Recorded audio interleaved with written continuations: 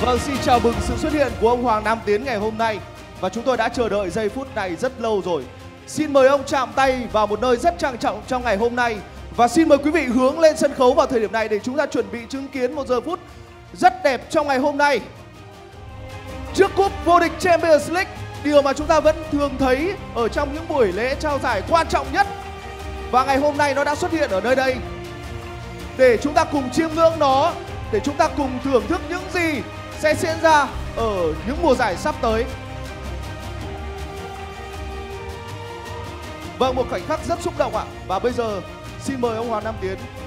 Hãy thông báo một điều rất quan trọng trong ngày hôm nay.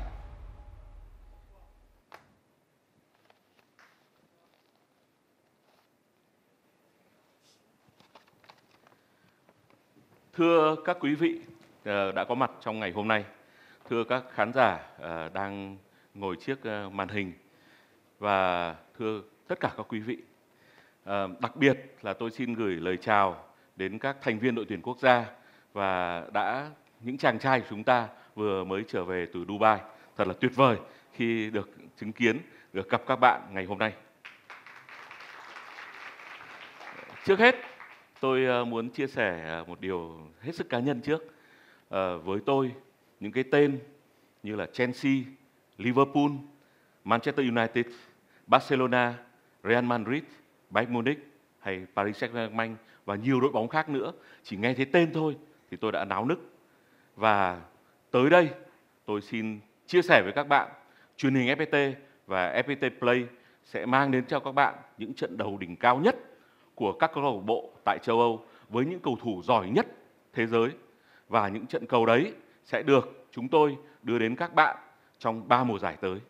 Đây là một niềm vô cùng vui mừng đối với chúng tôi, với những người hâm mộ bóng đá trên cả nước.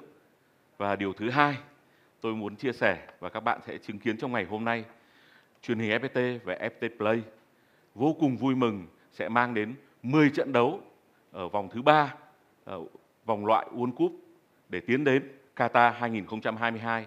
Nhưng với cá nhân tôi, tôi rất mong muốn là không chỉ 10 trận mà có thể là 14 trận khi chúng ta sẽ vào những đội tốt nhất để thi đấu giành một suất đi Qatar 2022.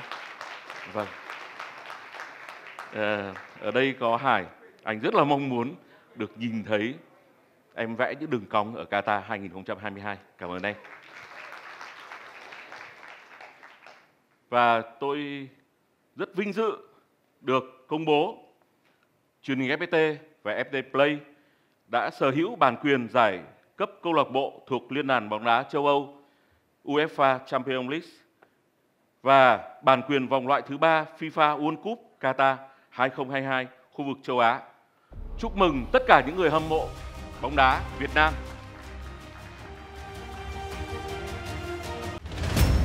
Năm 2021, bóng đá Việt Nam làm nên lịch sử khi chúng ta sẽ góp mặt ở vòng loại thứ ba World Cup 2022. Hành trình khẳng định sẽ được tiếp tục khi các câu lạc bộ của Việt Nam bước vào sân chơi châu lục. Viettel FC cùng AFC Champions League, Hà Nội FC, Sài Gòn FC với AFC Cup đồng hành cùng các câu lạc bộ Việt Nam trên đấu trường châu lục từ 26 tháng 6 năm 2021 trực tiếp trọn vẹn trên truyền hình FPT